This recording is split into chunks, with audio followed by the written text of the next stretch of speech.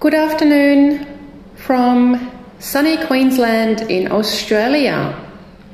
My name is Manuela Seiberth. I'm the founder and director at Auspire Immigration Australia. Welcome to the Monday Live. Like every Monday afternoon, 4 p.m. Australian Eastern Standard Time, I'm going live on Facebook and Instagram on a particular topic. If you're joining us, just let me know where you're joining us from, the city and the country. Would be great to know where you are. If you're in Australia or if you're outside of Australia, just let me know in the comments. And also, it would be much appreciated if you could give this live a like. Um, that would be nice. So that means other people can see activity and then they can join us. The more the merrier. So they say here in Australia. Yeah, so we had three topics to choose from this week. We had New Zealand uh, pathways, visa pathways for New Zealanders. It got zero, zero votes, so maybe we don't really have New Zealanders in our audience. Not many people know that New Zealanders they can come to Australia without needing a visa. However, they are only a temporary resident of Australia. So if they want to become a permanent resident and a citizen of Australia, they do need to go through the process like any other migrant. There is special New Zealand uh, visas for New Zealanders. Okay, so on, only New Zealanders can access these visa pathways. Um, so yeah, so this is something that I can talk about um, with people who this is who this applies to. So yeah, New Zealand citizens. Like I said, that topic had zero votes. Then the next topic topic was working holiday visas. So there is three working holiday visas. Um, so you can, if you're meeting all the requirements, you can be on a working holiday visa for three years. Yeah. So three years of working, having full-time work rights. That's pretty good. Um, so that was the second one, and that topic got a lot of votes. And then the third one was small business owner visa. And as you can see in the title of this live, that's the winner. So it was really between topic two and three the working holiday visa and the small business owner visa. And yeah, so the topic three is the winner, and I'm talking about that today. So please put your questions in the comments, um, and please make sure that the questions are about the topic. Okay, so there's if you have other questions about other visas, then more than happy to answer your questions. But for that, you need to book a consultation. Okay, so either you book a consultation, um, or if you have the patience and the time, um, hopefully maybe I talk about your topic. But then again, you know, in these lives, I can only say so much, and it's rather generic information. It's not tailored to your specific circumstances. So we have a question on Instagram. Is it hard to go to Australia or New Zealand as an immigrant? well, if you're offshore, currently it is quite hard, yes, because the borders are closed. Mm, so only under very. Mm, either you have very specific skills, like for example, you're working in one of the critical, critical sectors, or you have a direct family member, so a wife, a, a husband, or um, yeah, direct family members. Or if you are a child of an Australian citizen, then you also have options and possibilities to enter Australia. But other than that, it is currently very, very hard to enter Australia. Anyways, this is not the topic today. There is other lives. Um, there's other sessions that I've done about um, offshore immigration, and I have done a live on travel exemptions. So if you go into our library, into our video library, either the IGTV library on Instagram or the library of videos on Facebook, or you can also go to our YouTube channel. That's where you find a whole lot of videos and free information. Okay, So, um, we've got a few people live on Facebook and Instagram. That is great. Like I said, please feel free to put your questions in the comments and I will get to them. Oh, I should probably also do. Um, I'm gonna, just going to open Facebook, but I'm not sure it may interfere with the stream. Um, I just want to see if there's comments.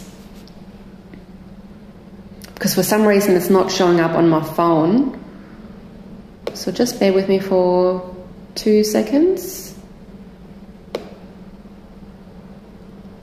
Where are we? Here we are. So yeah, at this stage there's only one like, so that's great. Wayne, thank you so much for the like, and I also have noticed that you are a very regular viewer, a very regular visitor to our page, and you are watching the lives. And also, should you be watching this live as a replay, so as a recording, then let me know also in the comments, just hashtag replay. Okay. Uh, yeah, we've got uh, we've got a lot of um, nice comments coming. Wonderful. Excellent. So let's get started. So I'll be talking about the small business owner visa for Queensland because not every state has the small business owner visa. And I'll be talking about the one in Queensland because that is currently available and accessible. And I am in Queensland. So, yeah, uh, I thought this is a great visa and not many people know about it. So, and you also voted for the small business owner visa.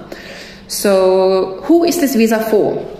Well, it is only for people who are onshore. So, that means people who are in Australia already. Okay, so if you're currently outside of Australia, um, like our friend who is um, has commented on Instagram. So if you're currently outside of Australia, then this visa is not for you. You need to be already inside of Australia. But if you're inside of Australia, then there may be further, you know, let's uh, explore further and see if it's something for you. And like always, I have my note, it's um, down to one page. Um, just so I know that I have everything I need that's important that I want you to know so I'm not forgetting anything, especially when there's comments happening. Uh, I may get distracted and then forget something very, very, very important. So we'll be looking at my notes. This will be a, a rather short live. So don't wait too long with your questions. Just put your questions in straight away because I do have an appointment that I have to get ready for as well. Um, and also I have it very compact here. Um, short and sweet today. And also the shorter we, we keep these lives, the easier it is for people who watch the recording. And I feel the majority of people are actually watching the recording, which is completely fine. The only disadvantage is that you are not able to engage life with me um, as you would when you join us in the life. Um, but I understand people have to work, people live in other places in the world where there is a different time zone. Uh, it's summer in Europe, so um, my family and friends are enjoying the great outdoors, traveling, uh, well, as much as possible, but there is travel going on in Europe. Um, yeah, I have not been able to leave Australia since March. Uh, yeah, anyways, March last year. So let's get started. Or we already have started, but I said it's only for onshore. Okay, so that's very important. Then you need to operate the business in a regional area of Queensland. So it cannot be in Brisbane, but pretty much anywhere else. Okay, so if you're out of Brisbane, it's fine. It can be Sunshine Coast, it can be Gold Coast, it can be inland, but not in Brisbane. So that's important. Um, you do need to have an occupation that is on the current skills list. Yeah? So that's very important because you then also need a positive skills assessment in that nominated occupation. So even though you would be assessed on you know having the business and so on. And it's a small business owner visa but you still need to have that occupation and you need to meet the requirements of the skills assessment. Now i'm not going to go into skills assessment details because again there's a different life for the skills assessment. So just look in the library where i explain the skills assessment process in australia. Um, another criterion is you need to have full-time work rights you need to be able to um, show that you have full time work rights. So, for example, if you have a 485 visa, yeah, a postgraduate visa, which has full time work rights, or if you have some sort of other visa that has full time work rights. But if you have a student visa, that wouldn't work because on a student visa, you're only work allowed to work limited hours. So, um, you need to employ at least one Australian resident. So, by definition, that can be an Australian citizen, it can be an Australian permanent resident, and it can also be a New Zealander who lives in Australia. Okay, so it's quite a broad definition of Australian resident. Um, but yeah, you need to have at least one Australian resident employed and they need to work at least 20 hours a week. Um, it needs to be a pre existing business. So that means you have purchased an already existing business. The business must have had operated for at least two years and the purchase price must have been at least $100,000. So $100,000 minimum purchase price. Um, you, as the applicant, um, need to be obviously operating the business, and it cannot be a franchise, so no franchise. It cannot be a home based business. Um, it cannot be a partnership or joint venture, and because it needs to be existing, so it can't be a startup. Okay? Um, the requirements are further requirements. There's a lot of requirements. Um, and I may not even cover all of them because there's just, yeah, a lot. But I will cover the majority of the requirements and the most important ones. So you need to also meet, because it's a skilled visa, so we're talking subclass 491. Yeah. So usually subclass 491, so there is two other streams that you may know when you're familiar with the visa subclasses. Um, so one is the state nomination. So without the business, just nominated based on your skilled occupation. And the other one is the family stream, if you're nominated by a family member. Um, and today we're talking about the small business stream. All right. Um, so you still need to undergo everything else that is also required with a normal, the normal 4, 419. Um, so you need to have at least 65 points in the points test. You need to be under 45 years old, so that's important. Age. Um, you need to have at least competent English. Again, that's all the same as for all skilled visas.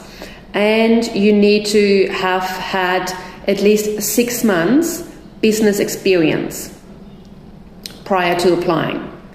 Yeah, that doesn't have to be necessarily in that particular business, but you need to have you need to show that you have had six months, not just you know being in jobs and being employed the whole time um, over the, your whole career, but you need to show that you have six months as a business owner. And six months is actually not a long time if you think about it. So for normal, regular business visas, so last week, Monday, I talked about the business and investor visas.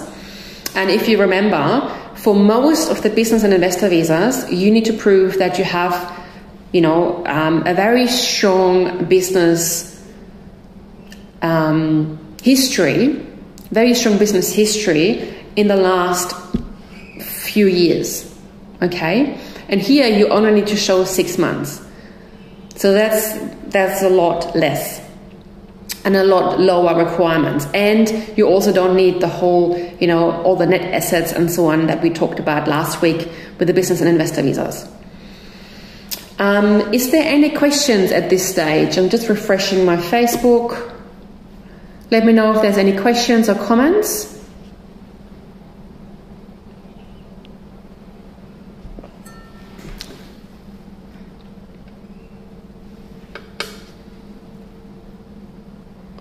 We've got a few more likes on Facebook, that's nice.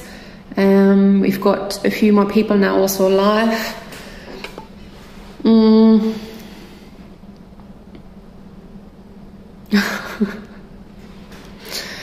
very, very um, charming comments on Instagram. Um, for all the Facebook live watchers, um, it may be a, a, look worth a look to go head on, over to Instagram later after the live and um, see the, the, the, the, lovely comments. I really appreciate that. It's very nice. Um, so, I can't see any comments or questions, so I would just continue and actually wrap up.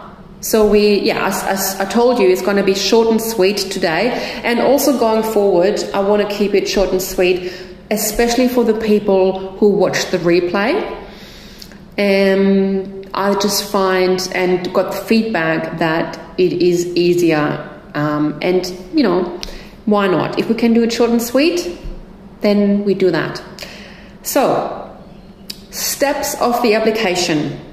So, because you might be thinking, oh gosh, you know, all these requirements. But let's say, you know, yes, yes, you have the occupation. Yes, you have the English test. Um, yes, you, you, you have the skills assessment and so on what, how do you actually go on about the application process? Well, like any other skilled visa application, there's usually at least two to three steps, okay? So there's always the expression of interest, then there's also the nomination for subclass 491 and for subclass 190, and lastly, there is the visa application. So that is the usual three steps for um, skilled visa types that are nominated by states. With the Queensland Small Business Owner Visa, subclass 491, there is an extra step before you start the whole process. So before you start lodging your EOI, your expression of interest, um, you need to um, fill in and submit a form, an assessment form. So this is where they do a pre-assessment for you, and this is great because it saves you. It would save you a lot of money. Just in case you wouldn't be eligible, imagine you you know start the process, um, you know you invest and so on, and especially when you're onshore, usually you also have um, kind of a deadline until your current visa expires and you don't want to waste time, you don't want to waste money, you don't want to waste energy. So, like I always say, it's always important to know the requirements and you are confident that you meet the requirements. In doubt, seek advice by a migration agent. Okay, so we, for example, can assist you with this small business owner visa and all the other visa types that there are available. If you're not sure what visas you're eligible for, then the best way to find out is to book in for a consultation. And that's when we assess your eligibility for all the Australian visa types that are, that, are available. There's more than a one, 100 types in the system at the moment, and they are creating more visas. so it's like, um, yeah, it's never ending the innovation um, and the um, development in the immigration system.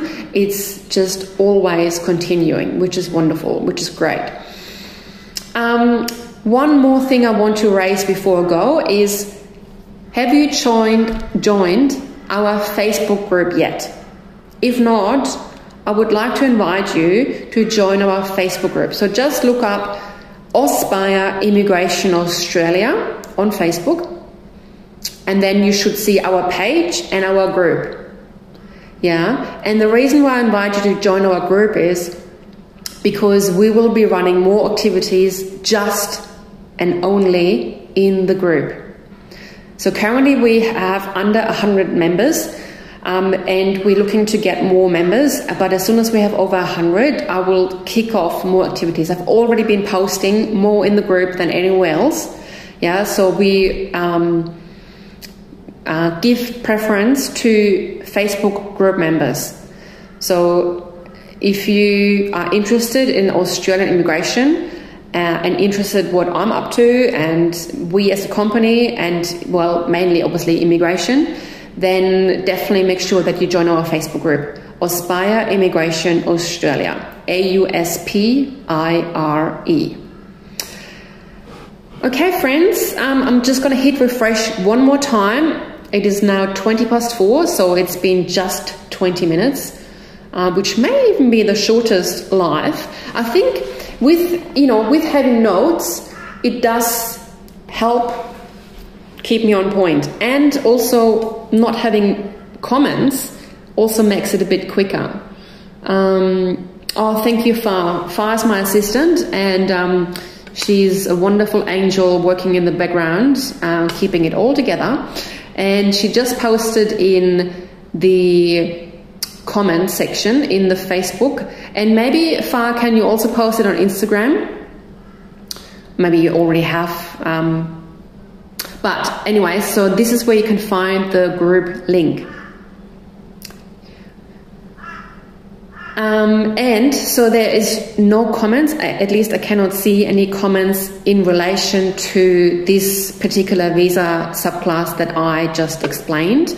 Um, then I would wrap up um, happy Monday. Have a great week. And I will see you next Monday with the next topic. And please, like I said, if you watch the replay, hashtag replay. And if you have any questions, send us a message, book in for a consultation. We're here, we are migration agents, we are lawyers, we are education agents. We can help you with any visa type.